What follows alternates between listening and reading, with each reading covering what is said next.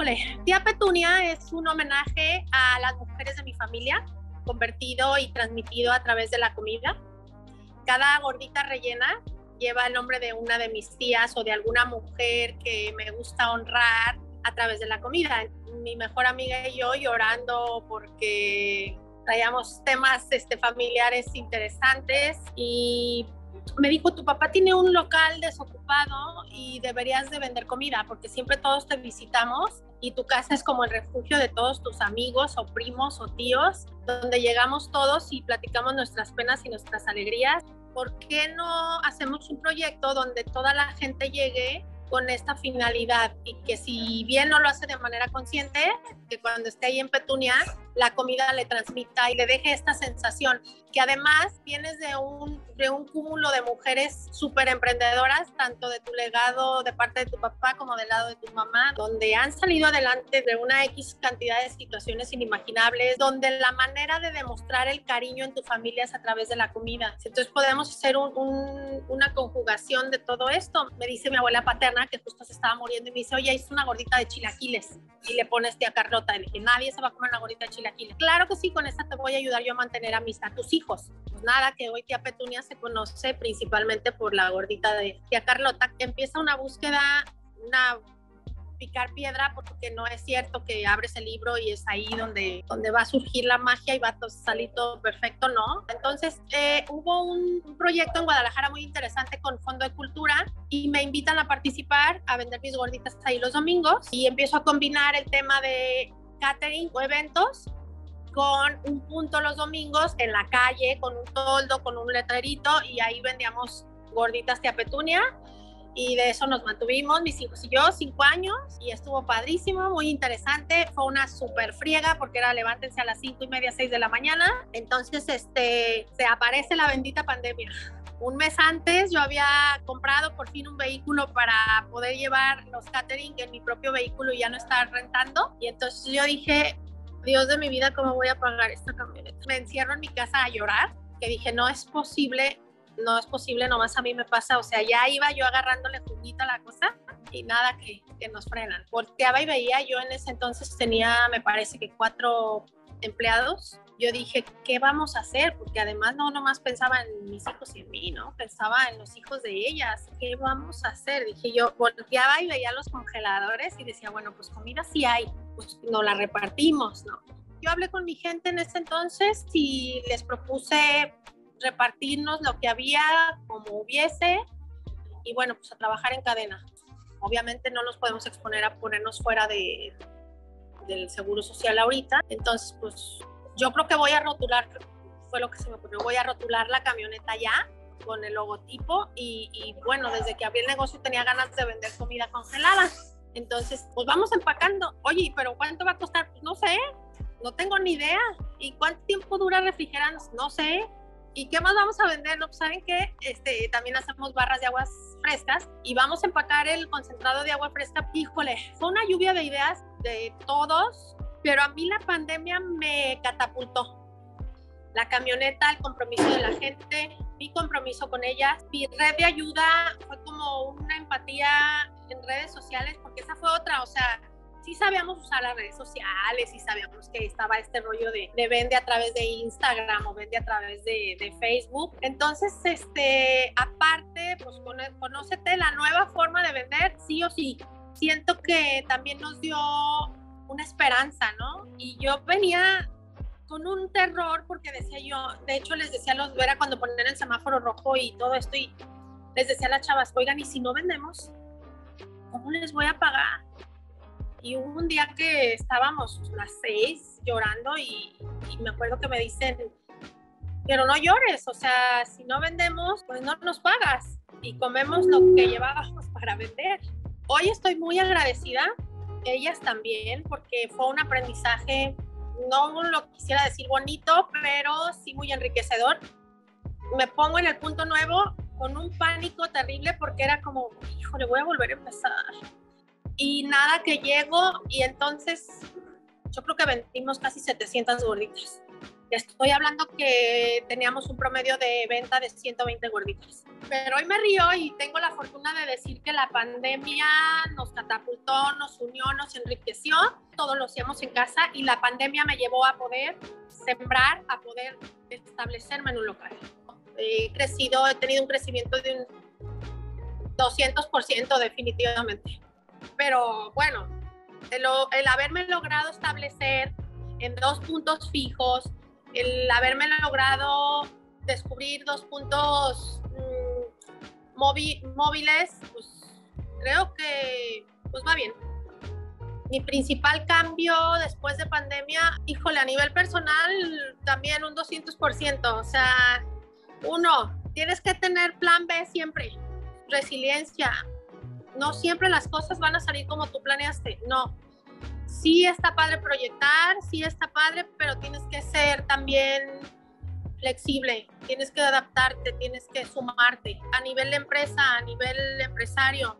Básico el recurso humano, pero tan básico es como que se les capacite a ellos, como que se nos capacite a nosotros como, como líderes, como, como directores, porque eh, hay una situación muy delgada entre perder la objetividad y sacar el trabajo. No sé si me explico. O sea, la parte humana con el objetivo de la empresa. De pronto tienes que ser sumamente frío y de pronto tienes que ser sumamente empático y lograr ese equilibrio es donde está lo cañón. Mi mayor aprendizaje o mi lección más grande durante esta pandemia es literal flojito y cooperando. o sea, si hay un plan B, está padre, B, C, D, está chido que lo tengas, que lo anotes, que lo tengas impreso, pero al final del día, cuando las cosas traen esta fuerza como fue una pandemia, lo único que te queda es nadar de muertito y adaptarte a la situación, pero no te puedes dejar morir. Híjole, mi herramienta o mi valor más grande en esta pandemia es el recurso humano. La gente que realmente esté comprometida al mismo nivel que tú. Pero cuando logras tener gente que está sumada, que está haciendo este match con tu proyecto, con este amor, con este cariño, con estas ganas, con esta ambición, porque también hay ambición, y que tú se corresponden ambas partes, creo que estamos del otro lado. Mi momento más crítico o de mayor oscuridad fue que sí quería rendirme, sí había días, este, aparte yo tengo fibromialgia, entonces había días que decía yo, hoy no puedo, pero entonces oía las historias de la gente que sí estaba conmigo y decía, no, o sea, realmente hay gente que sí lo va a pasar muy mal. Y volteaba y veía a mis hijos y decían, no, no puedo parar porque no, o sea, no es viable, ni siquiera es negocio, puedes pararlo, ni siquiera, sí, sí te dan ganas de parar, sí te dan ganas de, pues ya, de tirar la toalla y sin nada que perder pero sí volteaba y veía las historias de cada, de cada integrante y decía, no, y no puedo parar. El momento en que yo dije que sí iba a salir de esta, vuelve a presentarse una crisis. Tengo un primo que crecimos como hermanos y entonces un día me habló y me dijo, oye, ¿en qué momento le vas a dar este, dignidad a tu negocio? Pues dignidad sí tiene, pero ¿en qué momento vas a sacar tu negocio de tu casa? ¿En qué momento te vas a atrever a, a ser empresaria? Y entonces me habla un día, me dice, como, ¿cuánto necesitas? No, más o menos como tanto. Y me habla al día siguiente y me dice, oye, te tengo una sorpresa. Y me dice, ¿sabes que te conseguí un préstamo y necesito que busques un local? Mm, tienes 10 días para encontrar el local. Un jueves en la tarde me habla y me dice, oye, mañana voy a conocer el local. Lamentablemente ese viernes nunca llegó, él se accidenta en una moto, este, lo estaba esperando yo. Y ahí sí fue cuando dije, ya no voy a poder hacer nada y el mismo viernes dije, no puedo parar. Lo último que debería de haber pasado por mi cabeza es frenar esto. Yo creo que lo mismo, no puedes parar porque mucha gente está comprometida contigo.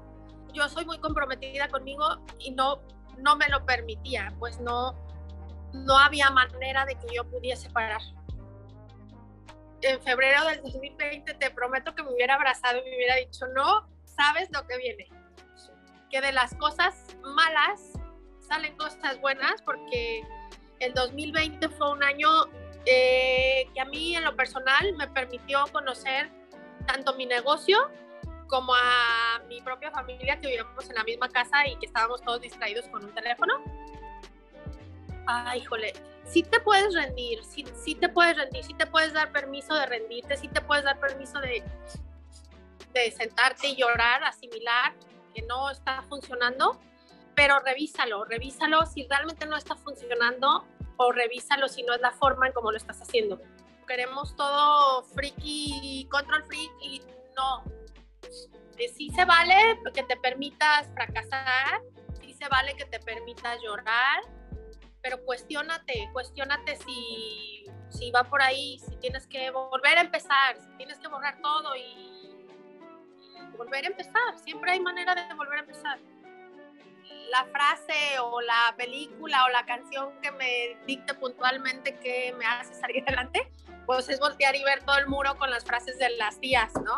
La riqueza la, la tristeza ahuyenta la riqueza. Son infinidad de frases las que me hacen salir, seguir adelante. Esta definición ha cambiado a raíz de una pandemia, esta definición ha cambiado a raíz de, de los fregadazos que he recibido estos últimos dos años, de, de, la gente que se ha tenido que ir, de los que nos hemos tenido que quedar. Hoy resumo el éxito en paz.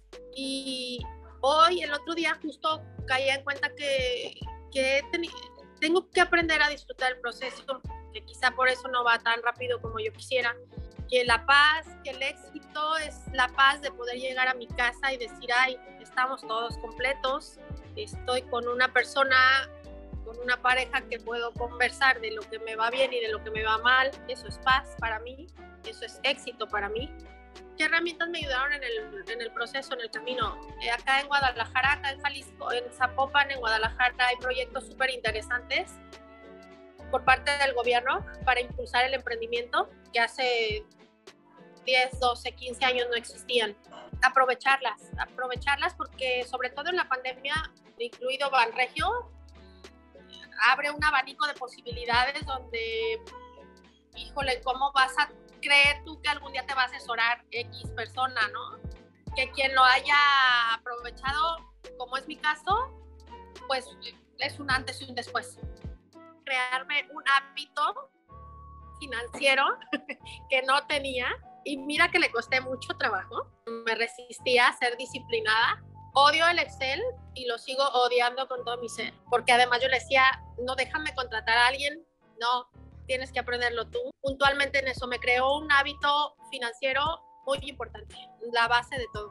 Pues me encantaría darles las gracias a ti, a todo el equipo, a toda la gente que está detrás de todo esto, porque también somos parte de un equipo y entonces nos necesitamos unos a otros y que, que gracias hasta la pandemia porque nos vino a revolucionar a todos a través de pérdidas y aprendizajes duros, pero híjole, si lo aprovechamos creo que podemos ser un mundo mejor, ¿no? Y, y darnos cuenta que sí somos más los buenos.